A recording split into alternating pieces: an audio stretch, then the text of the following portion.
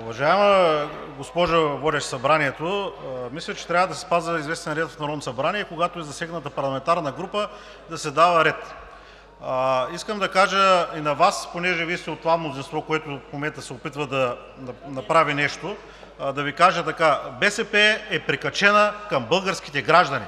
Тя защитава интереса на българските пенсионери и гласува за 120 лв. добавка, за да могат тези възрастни хора да вземат глътка въздух преди изборите. Тя гласува?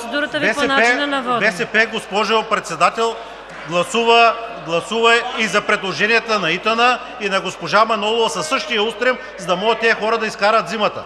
И не ни прикачвайте, сватбите са си за Вас по кьошетата с бележки и така нататък. Благодаря. Ви.